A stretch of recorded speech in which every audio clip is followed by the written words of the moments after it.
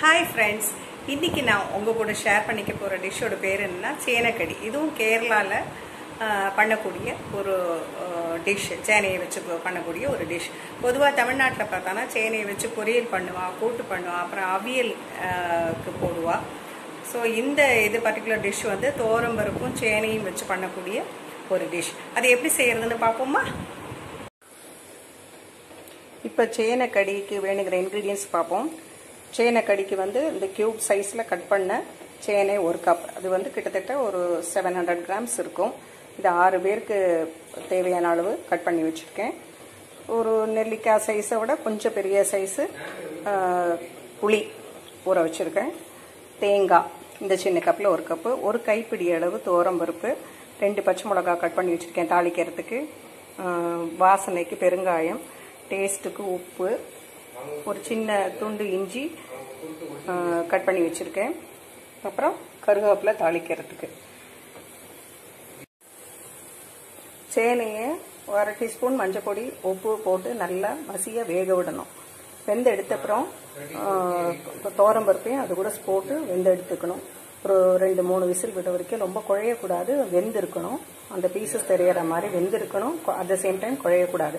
வெந்து எடுத்து வச்சுட்டு அடுப்பில் ஒரு ரெண்டு டீஸ்பூன் தேங்காய் எண்ணெய் கடுகு உளுத்தம்பருப்பு கடலைப்பருப்பு அப்புறம் இஞ்சி பச்சை மிளகா கருவேப்பிலை எல்லாத்தையும் தாளித்து கொட்டிட்டு இந்த எலுமிச்சம்பழத்தை பிழிஞ்சு எலுமிச்சம்பழம் சைஸு புளி ஊற வச்சுருக்கோம் இல்லையா அதை பிழிஞ்சு அதில் விட்டுட்டு கொஞ்சம் அந்த பச்சை வாசனை போகிற வரைக்கும் கொதிக்க விட்டுட்டு இந்த வெந்த இதை அதில் போட்டுட்டு அது கொஞ்சம் கொதிக்க விட்டோடனே தேங்காய் இதெல்லாம் வறுத்து ஒரு இது போட்டு இறக்கி வைக்க வேண்டியதுதான். இது வந்து கேரளா டிஷ்ஷு சேனக்கடி சொல்லக்கூடிய ஒரு டிஷ்ஷு இது எப்படி பண்ணுறதுன்னு பார்ப்போம். இப்போ சேனக்கடிக்கு நம்ம தாளிக்க போகிறோம் எண்ணெய் காஞ்சிருத்து கடுகு போடுறோம். கடலைப்பருப்பு உளுத்தம்பருப்பு போடுறோம். அது பொறிஞ்ச உடனே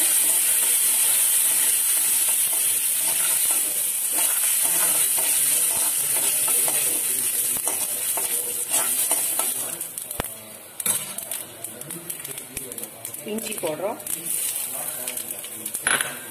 அப்புறம் கருவேப்பிலை பச்சை மிளகா பெருங்காயம். இது கொஞ்சம்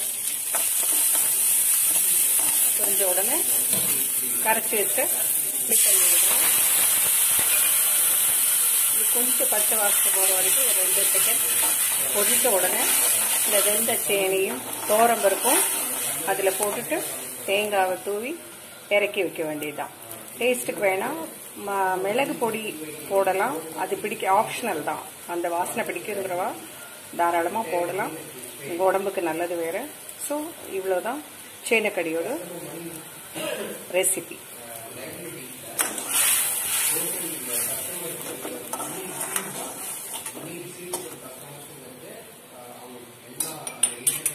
அது கொதி வந்துடுது ஸோ இந்த வெந்த சேனையும் பருப்பும் போடுறோம்.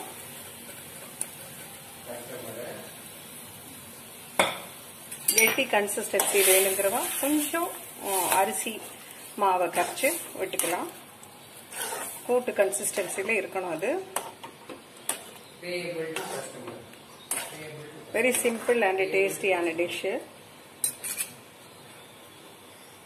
இதில் நம்ம வந்து இது கொதி வந்த உடனே தேங்காவை தூவி விடுறோம். அவ்வளோதான்